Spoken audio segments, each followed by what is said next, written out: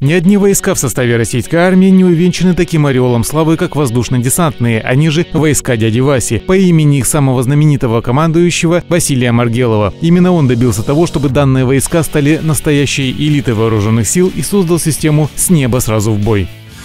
Чтобы стать первыми среди лучших, настоящей элиты армии, необходимо овладеть оружием, парашютом, приемами рукопашного боя. Физическая подготовка десантника проходит на пределе человеческих возможностей.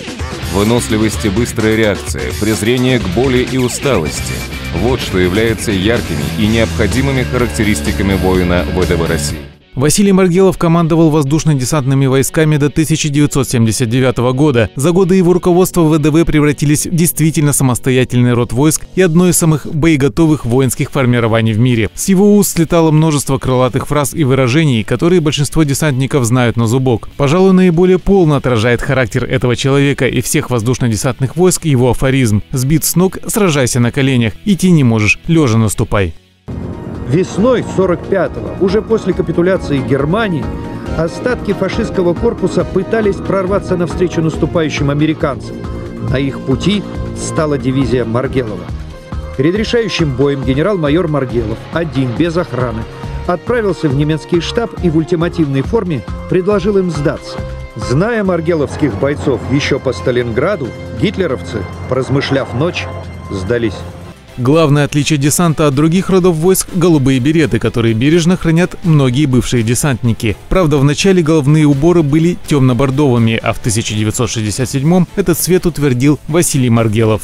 Они носят береты цвета неба, потому что небо наше и земля наша, потому что они несут службу.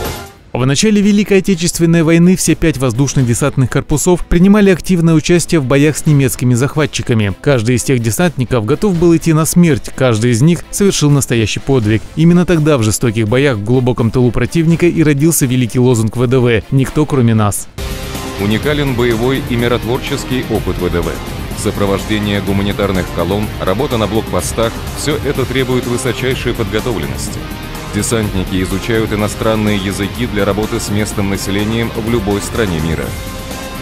В нынешних условиях войны с международным терроризмом воздушно-десантные войска способны осуществить непосредственную работу в любой точке планеты. Сегодня, 2 августа, во Владивостоке состоялись мероприятия в честь 92-й годовщины образования воздушно-десантных войск. С утра стартовал автопробег от Русского острова до Парка Победы, где более сотни жителей города возложили цветы в память о погибших десантниках. В числе участников были ветераны службы ВДВ, их родные, воспитанники детских военно-патриотических клубов и чиновники. Олег Завьялов, Анна Дьякова, Новости на восьмом.